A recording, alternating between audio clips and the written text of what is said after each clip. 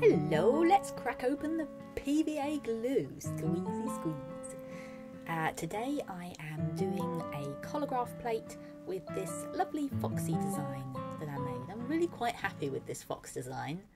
I was super chuffed. um, I'm cutting up tiny bits of felt. I'm using tiny bits of arborio rice and also tiny shards of tissue paper that are rolled up and cut up into tiny bits. How many times can we say tiny? Hmm. Anywho, if you are wondering what a collagraph is, it is a collage that you take a print from. So it's a method of printmaking. It's a very cool method because you can do it with all sorts of different bits and bobs that you find in the house or that you might already have. You can use tin foil or tissue paper or um, kitchen roll, um, sandpaper, like just you know, you can you can get creative with it. Um, here I'm using some stems, some dried stems from some bunny grass tails from the garden. Um, I don't know whether that's the right name that I've given them, but that's what I think they're called. Anyway, they're dried and cut up, and here we go. They're becoming a lovely texture. So yeah, the goal with uh, Collagraph is that you are trying to create textures essentially, and the prints that you get are rather lovely. And yeah, hopefully you can see the process as we go along here today. If you would like to know a little bit more in depth about how you can make your own collagraph, because as you'll see through this, it is super easy. There's nothing too taxing about it, and it is very meditative and calming to do. If you'd like to delve into it, I do have some classes on Skillshare. I have one at the moment about collagraph specifically, and there is another one in the editing stage at the moment, which is coming soon. So do click on the link that's in my description. It will get you one free month's of premium Skillshare membership, which will allow you to watch all of my classes if you should wish, and you can also get access to all of the other classes on Skillshare, of which there are thousands, and they are all very inspiring and get you making and doing and viewing the world differently. You can explore your creativity in all sorts of ways. It's very cool. So, I wanted to talk a little bit about doing things for the sake of doing things, I suppose. Because, yeah, this process is quiet, it's slow, and perhaps many people might look at it and think, well, sure, you get a nice result, whatever. But um, but what's the point? Is it really worth the effort? Why would you even bother going to all that time and effort sticking tiny bits of tissue paper over and over onto a piece of cardboard. I mean, I get it. I do. I totally understand that it doesn't automatically seem like the thing to do with your time when there is a lot of other things pressing on you to get done. Absolutely. I'm not saying anyone should give up anything else in order to do this, but what I will say is that if you can do something like this, and it doesn't have to be this, but things which are like this as well, which you do because you find them calming or uh, just like they exercise your brain in some way, and just something about the process is what draws you to it, uh, not necessarily the end goal. The reason I enjoy printmaking so much is because there is an element of surprise every single time.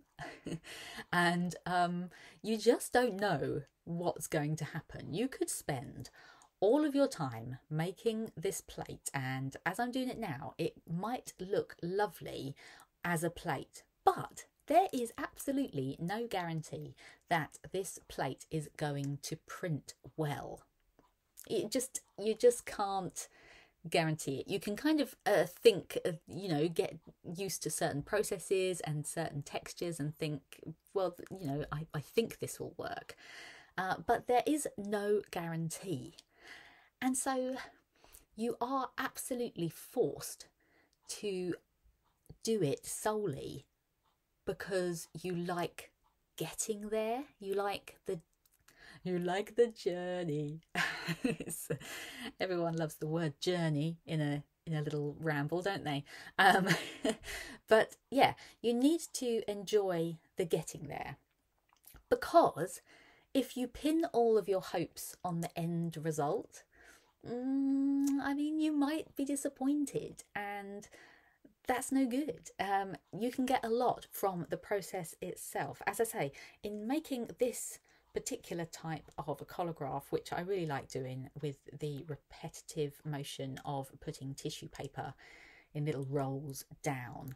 Um, I really like it because, yeah, the repetitive nature just kind of lets your mind float away for a little while. You don't have to think too hard about what you're doing. You can just let your hands do the work. You can put music on, you can sing along, you can listen to an audio book, you can just listen to a bird tweeting if you're nearby to a window. Um, and there is, yeah, there's nothing that you need to really do apart from let your hands carry on making you know? And then at the end you're left with something which is a learning thing. You you found something from it. You created something which you hadn't made before and you gave it a go and you figured out whether or not it worked or not you know? If uh, i don't even know if i've made sense. I do you know on these kind of things if i'm left to ramble this is what happens. Um you you do get a ramble anyway, I do really believe in making to make happy. That is my whole my whole motto is making to make happy. And that is because you should make things for your own happiness, um, not just for what is created at the end. I mean, what is created at the end, as long as you're happy with happy and it's brought you a smile or brought somebody else a smile, then you've won, haven't you? You know, you've made it. You've made it to where you need to be. Anyway, as you can see, I'm in the stage of putting ink onto uh, this little foxy. And this is the part where you can start to get a little bit excited um, because you're almost at the end to see what result you're going to get. And yeah, it's exciting. Printmaking is exciting.